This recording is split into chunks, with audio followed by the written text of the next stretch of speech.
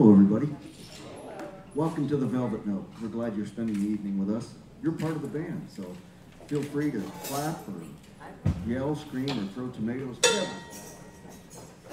tomatoes.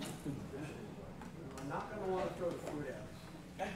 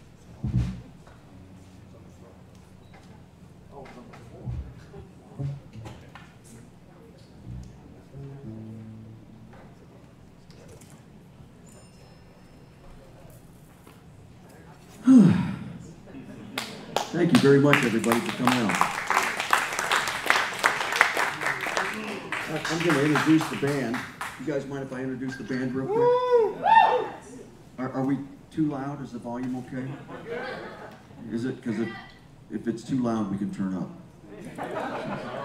Yeah, let me, let me introduce, let me introduce the band real quick. Uh, Yakub, have you met, uh, Vasily? Yeah. Uh, Vasily, awesome. Oh, it's a Canadian thing. I can't help it. I'm sorry. Um, yeah, we what we're doing tonight uh, is music. We're glad you came out to spend the evening with us. That's real important for us because all of us have been suffering these past couple years with this. I don't know this thing that's been going around. I can't remember what it was, but it's had us all locked in the house. So, and uh, music is our outlet, and it's the only thing that keeps us alive. And what keeps us alive more than anything is having you guys here to share the music with. Everything we're doing is original, and we've worked for probably the last 40 years at our craft and talent. At, at least me, I'm the youngest. So.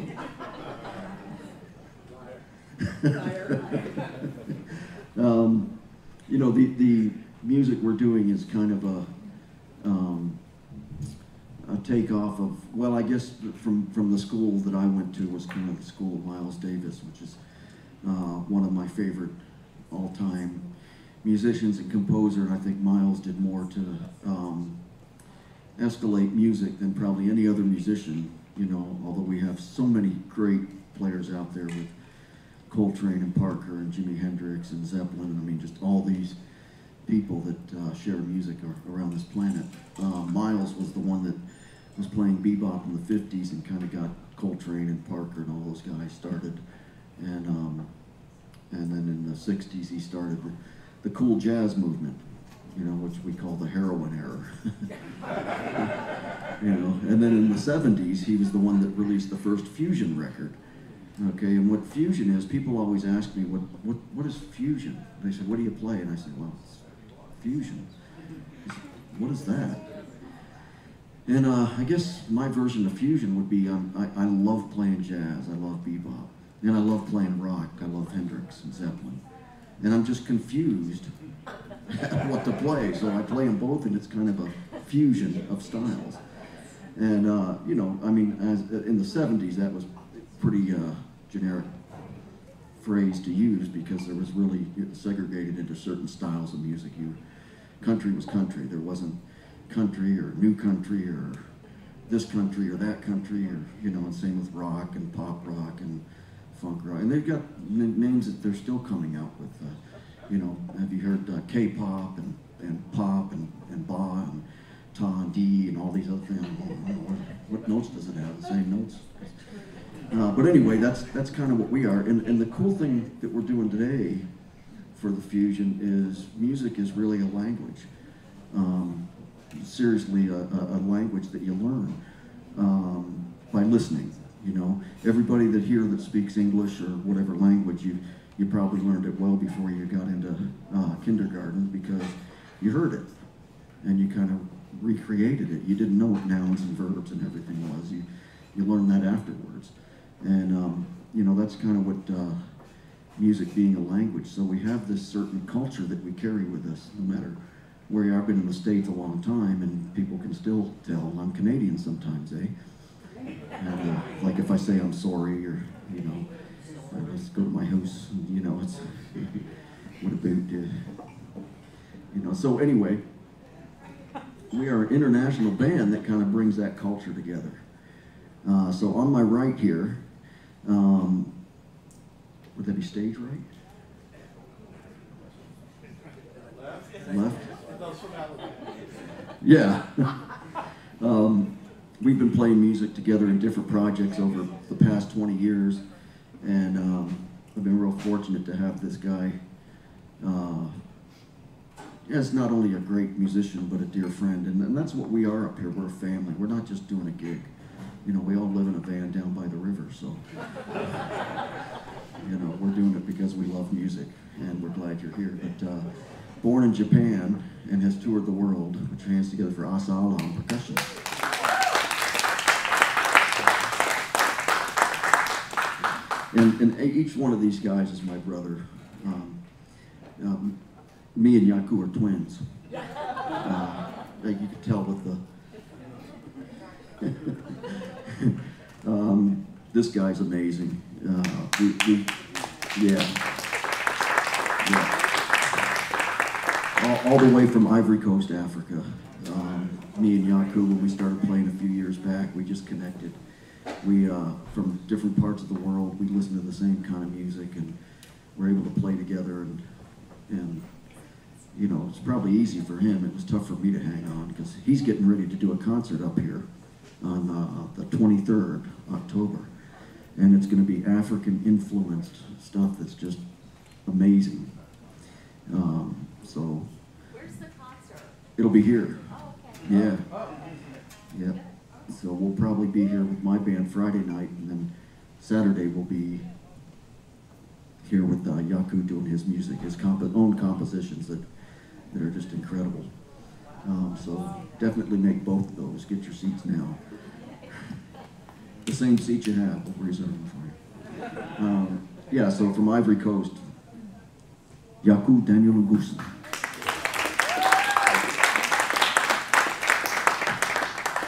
And this guy here too is my younger brother.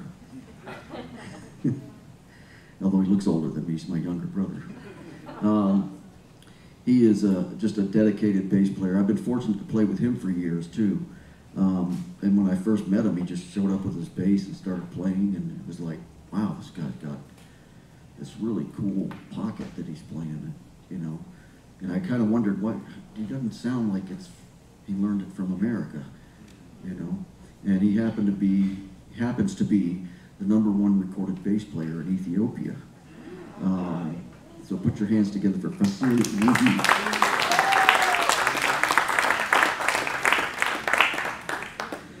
And Fasil has the bass player here has played with this great keyboard player who is also from Ethiopia. His name is Kay.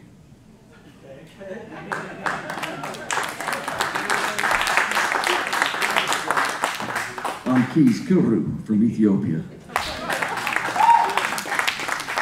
And it's, and it's really cool how this music works, you know, because it, Miles had this way, Miles Davis had this way of, you know, if you play it like the record, you're fired kind of thing. And he really, you know, I, I was fortunate to be good friends with a guitar player named Robben Ford who got a gig with Miles. And I asked Robben one day, I said, I said, man, what was it like when you got the gig with Miles? He says, I got off the plane, I walked on the stage, and Miles came up, put his hand on his shoulder and said, get them chords, Robben. And he walked away, and that was their rehearsal. And then they started playing in a football stadium, you know. So that was kind of Miles' way of, uh, you know, wanting you to really dig into your heart and, and play from your soul, not just rehearse stuff and play it like the record and stuff like that. So a lot of magic happens. And I mentioned that because last week, Fasil goes, man, I know this keyboard player from Ethiopia. Can I bring him? I said, sure. And he shows up and he had his little keyboard under his arms. And I said, oh, hey, man, how you doing? I said, yeah, you, you set up right there. And he put, we played last week and he just killed it. You know, we just met and we got on stage and just killed it. It was just a beautiful thing. So we packed up for the gig and then as we were leaving, he said, man, I really had fun, man. I, I hope we could do it again. I said, what do you mean? You're in the band. You better be here next week. so, you know, it's just a great thing. Music's a beautiful thing, and I'm, I'm so glad you guys are here to share it with us. So we're going to continue playing some more music. And uh, thanks again for you guys for showing up. That that's really means a lot to us. Because I tell you, we played for chairs for a long time, and it's a real drag. You know, I'll tell a joke, and the chair just looks at me.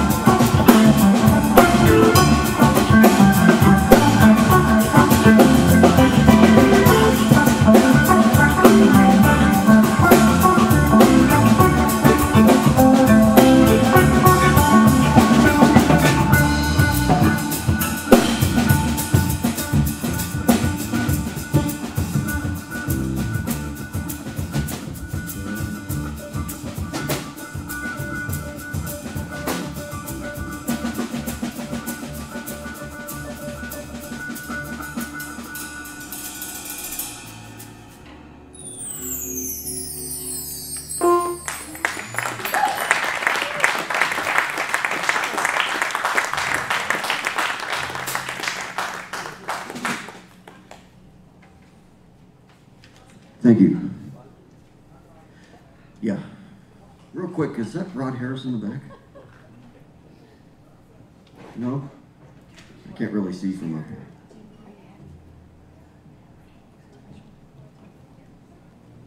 Okay, that tune was called Simple Simon. it was supposed to be simple. Um, we're going to play this tune called Spazio Aperto. Any Italians in the house? That means open air in Italian and in English. so, and open air kind of gives it the vibe of this song, kind of has this openness to it. Um, but we're real excited about this song because uh, a guy in Italy picked it up, and um, I don't know what you call them nowadays. They have as many names as as uh, record styles do. And he's like a producer, engineer, record label promoter, one of those guys. A social media, I guess, is is what it is now. Um, but anyway, he had picked up the song and had it played over 150 different stations in Europe last year, and um, you know, really excited about that. Um, and uh, when I get my royalties from Spotify and all that, I'll be able to get a cup of coffee. And I told him if he get it, get it another year, I'll be able to get cream for it next year. So I'm looking forward to cream in my coffee.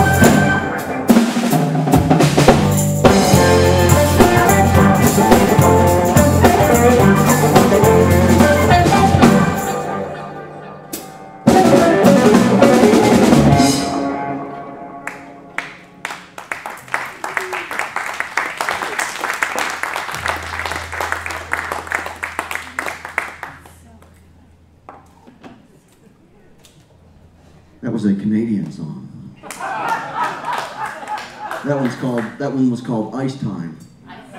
Yes. And uh, does anybody know what ice time means? No. Hockey, yeah. It's not a drug, it's hockey. And in Canada, when we were eight years old, we'd all get a 12 pack of beer, and after we got done drinking it, whatever money we had left, we'd pitch in and rent the ice rink. And we'd call everybody and say, We have ice time. We'd show up with our skates, and after the fights, we'd play hockey. Uh, are you going to play bass on that? Like you play drums? Anyway, um, this particular club here, we've, we've traveled all over the world with uh, this music. And uh, we've played in a lot of clubs.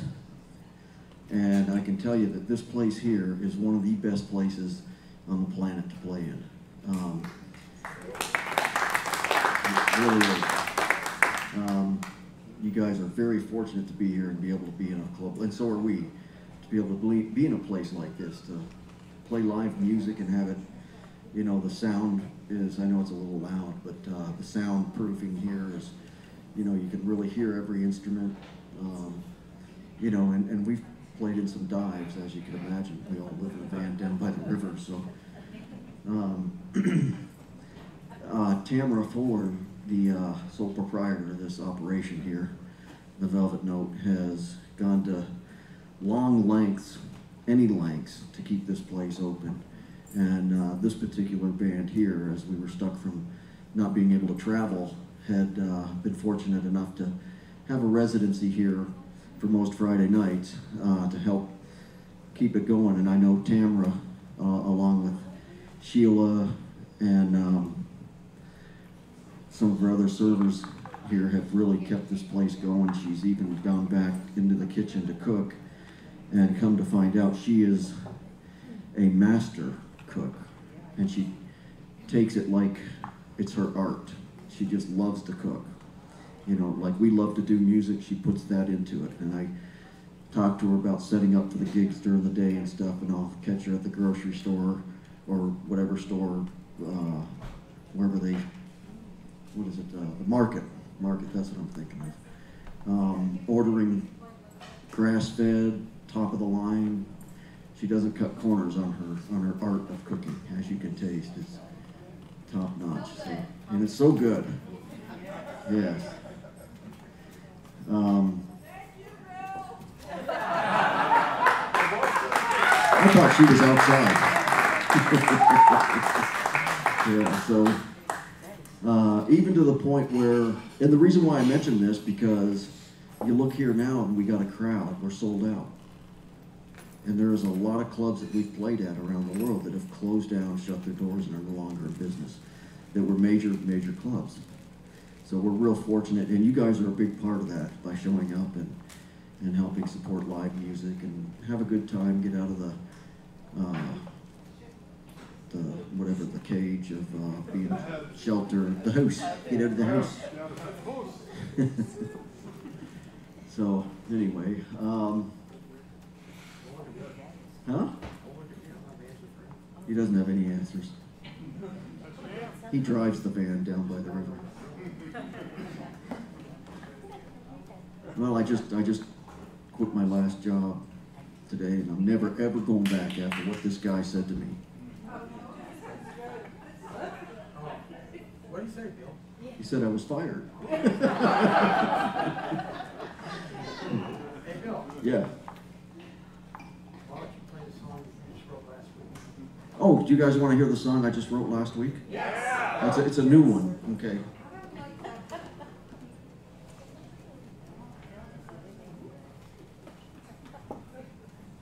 it's this, I really worked hard on this one. So.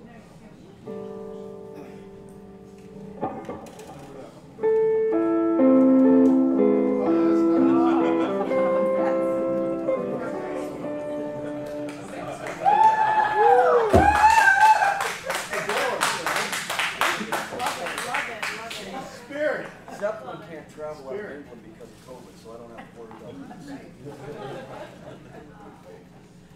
Anyway.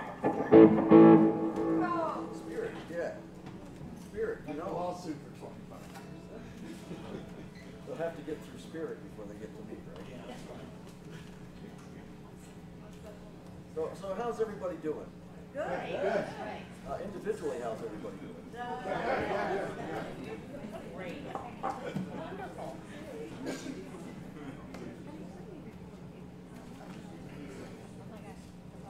Um,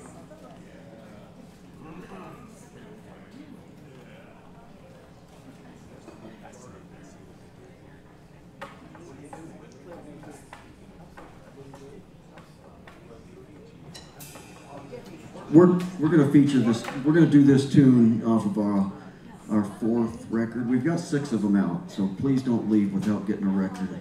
It's, um, I'm, I'm not selling them, I'm just giving them to you, especially the nothing less than a hundred dollar bill. But other than that, no, seriously, if you take the CD and you play it, that's, you know, or give it away as a gift, or just keep it as a mem- a remembrance of tonight. Um, so don't leave without, uh, picking up a CD or a couple of them. Um, but this tune we're about to do is called What Are You Doing? And, um, as I mentioned, my men, my, uh, school of Miles Davis, um, I was very fortunate to become really, really close friends, and I don't just mean on Facebook. you know, I've had that happen. I, it was with a drummer. He's, we were talking about this real great musician. He goes, "Oh man, I'm friends with him." I was like, "Really? You gotta hook us up." He goes, "I said, have you talked to him lately?" Said, "No, no, no. We're, but we're, we're good friends and everything." And come to find out, he, yeah, he goes, "No, we're friends on Facebook." And I'm like, "What?" I'm friends with everybody on Facebook. I don't even know. But anyway, this guy um, was Miles Davis's guitar player uh, in the late 70s, and I recorded three records from him. And, and, um, and the story with him was, uh, as I mentioned with uh, John McLaughlin, not John McLaughlin, but um, in the 70s, Miles started Fusion. Uh, and the guitar player was John McLaughlin. And uh, he introduced Miles Davis to Jimi Hendrix, and they were supposed to record some music together. But Hendrix had passed before they had the opportunity to do that. And Miles wanted a guitar player that could play rock, but also play jazz changes. And that was Mike Stern that got the gig for that.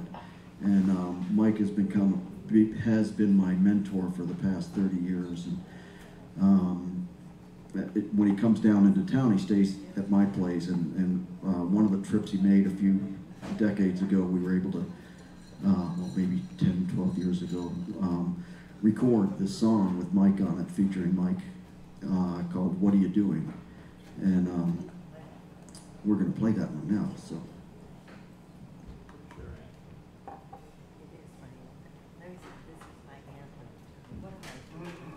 See, after I get done name dropping, I'm going to go into place dropping. Like I used to live in Los Angeles, and when I moved to New York,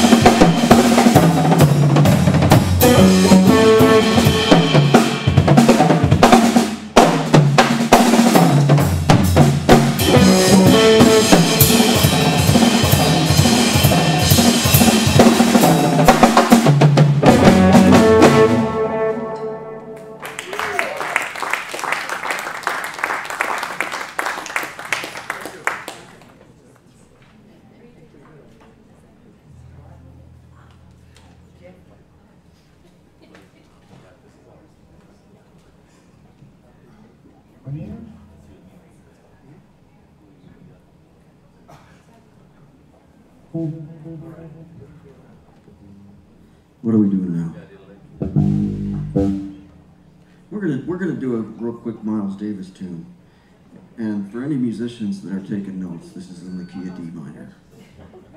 And if you've ever seen Spinal Tap, it's the saddest of all keys. um, this tune is in the '60s when Miles created what was called uh, cool jazz.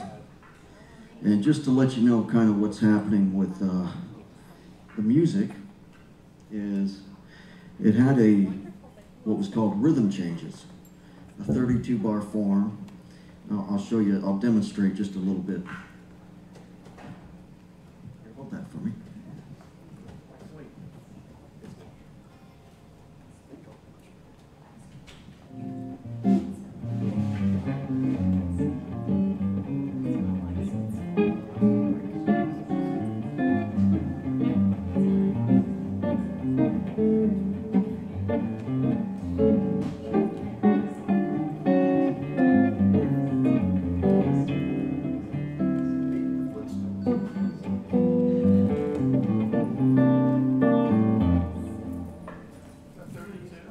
That's a 32 bar form. Well, I didn't do the last eight, but I, it was the same as, it's an AABA section, okay? Now we're gonna do what Miles did, because Miles was an inno- innovator, okay? He took the same 32 bar form and he did, he did it this way. This is called So What. And it's off the most popular sold jazz record of all time. Does anybody know who, what the name of that is? Kind of blue, exactly, kind of blue. And you know, when they went in to do that in the studio, they just showed up and played. They didn't rehearse or anything. They showed up, they hit record, and they played. Jazz.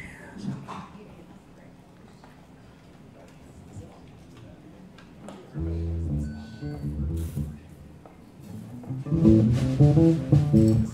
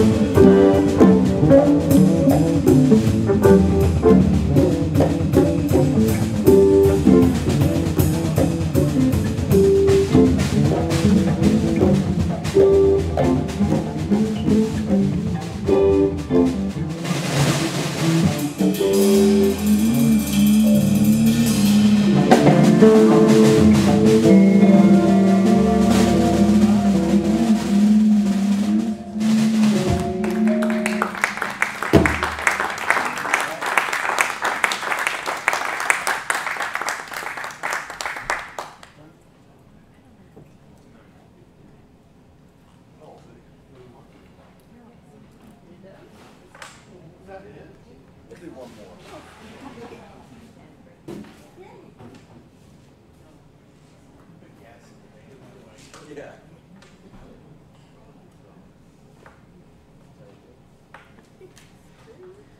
Inside job? Yeah, we could do that. We could do that. Yeah. How's everybody doing? Uh, we're going to play another tune for you. And just remember, please don't leave without getting some CDs because I have to carry them and we don't have enough room in the van. We have to live down by the river.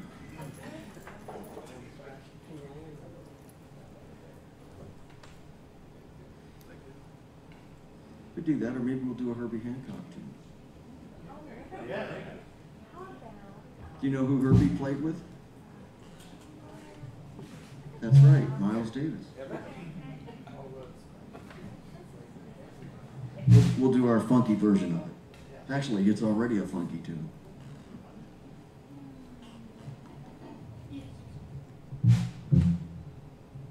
Mm-hmm.